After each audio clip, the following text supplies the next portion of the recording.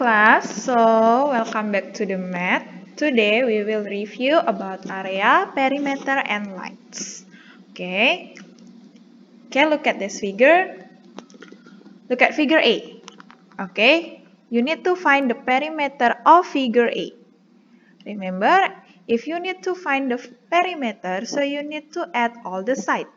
Okay, let's we count. Let's we look at the figure A and let's we count. There are one, two, three, four, five, six, seven, eight, nine, ten, eleven, twelve. So the perimeter of figure A is 12. What is the unit? Look at this in 1 centimeter. So the so the unit is 12 centimeter. Okay, how about area? The area is 1, 2, 3, 4, 5, 6. So the area of figure A is 6 square centimeter. Remember, if the question in perimeter, so the unit only centimeter, but if the question is about area, so you need to put square in the unit. So become 6 square centimeter. Okay, now look at figure B. You need to find the perimeter of figure B. Okay, so you need to add all the sides. Let's count together. 1, 2, 3, 4, 5, 6, 7, 8, 9, 10, 11, 12, 13, 14. So the perimeter of figure B is, yes, 14 centimeter. How about the area? Let's we count. 1, 2, 3, 4, 5, 6, 7. The area is 7. What is the unit? 7 square centimeter. Okay, next question. Two square tiles, each with a side of 3 cm, are placed side by side to form a rectangle. What is the area of the rectangle? Ya, jadi artinya ada dua square atau dua persegi. Okay, this one and this one. And then you need to find the area of this figure. Oke, jadi ada dua persegi yang membentuk persegi panjang. Itu artinya. Oke, and the side of the square is 3 cm. Oke, remember if square, if the shape is square, so the side, all the side has same length. Atau jika persegi, maka seluruh sisinya itu sama panjang. Oke, so The breadth is 6 centimeter. Okay, because there are two square. So in here, from here until here is 6 centimeter. Now, you need to find the area of the rectangle. How to find the area of the rectangle? Yes, you need to times or multiply the length and the breadth. Okay, breadth times length or length times breadth. So, the area of this rectangle is 6 times 3 equals 18 square centimeter. Remember, if area you need to put square. Oke, okay? atau satuannya itu pangkat 2. Next question. Komang bought a notebook. Each page of the notebook is rectangular in shape. The breadth of the rectangle is 12 cm and the length is 3 cm longer. Find the area of the rectangle. Okay, look at the question.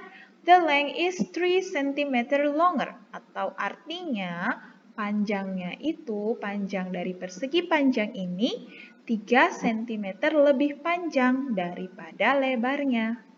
Okay, the breadth is 12 cm and the length. The length is 3 cm longer. So it means 12 centimeter plus 3 centimeter equals 15 centimeter. So the length is 15 centimeter. And because the question is you need to find the area of the rectangle, what is the formula of the area of the rectangle? Yes, if you want to find the area of the rectangle, you need to multiply the length and the breadth. Okay, so 15 centimeter times 12 centimeter equals 180 square centimeter. So the area of the notebook was 180 square centimeter. Next question about line, about perpendicular line. Okay, look at this figure. Which of the following lines is perpendicular to AB? Remember, if perpendicular, atau perpendicular line itu artinya garis yang tegak lurus. Okay, so if there are two lines meet at right angle, it's called it's called perpendicular line. Oke, atau artinya jika ada dua garis yang bertemu pada sudut siku-siku or right angle, kalian menyebutnya right angle, so it's called perpendicular line. Oke, so AB perpendicular to look at IJ. Look at this one, this line. Are they meet at right angle in here? No. Okay. They are not meet at right angle. How about EF? In here, look at in here. Yes, they are meet at right angle. Atau mereka bertemu pada sudut siku-siku. So, what line is perpendicular to AB? Yes, line EF. So, EF is parallel to AB. Okay, next about parallel line. Okay, remember if parallel line, so there are two lines that will never meet atau dua garis yang tidak akan pernah bertemu. Jadi kalian mau gambar sepanjang apa pun, mereka tidak akan pernah bertemu garisnya. Oke, okay, look at the question. Look at the figure below. Which of the following lines is parallel to AB? This is AB. Oke, remember parallel line atau artinya garisnya tidak akan pernah bertemu. Which line is that? Yes, line CD here ya. Jadi kalau line CD ini dipanjangin atau kalian gambar lagi tidak akan bertemu dengan line AB.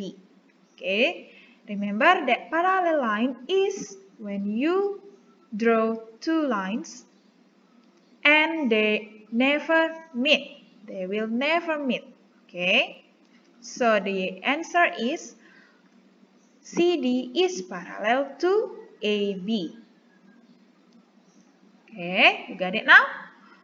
Okay. Math exam is on Friday, 29 May 2020.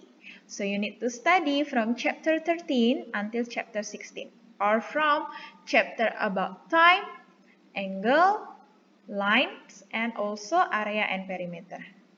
Okay, so that's all for today. Thank you for watching. God bless you. See you.